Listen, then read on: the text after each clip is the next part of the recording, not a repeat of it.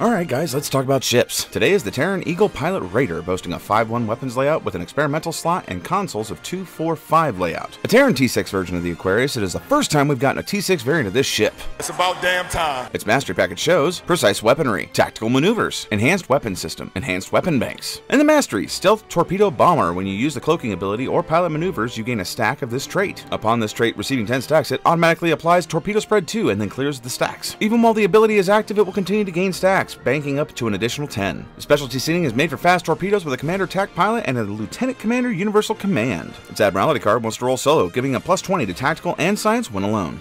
You know, sometimes I amaze even myself. This was so much fun to fly, and I love the little animation they did for the pilot maneuvers. When it boosts, it brings them in, and it is definitely made for stealth torpedoes. I am very, very sneaky, sir. What do you think of the Terran Eagle? Let me know in the comments below, and I'll see you around the galaxy.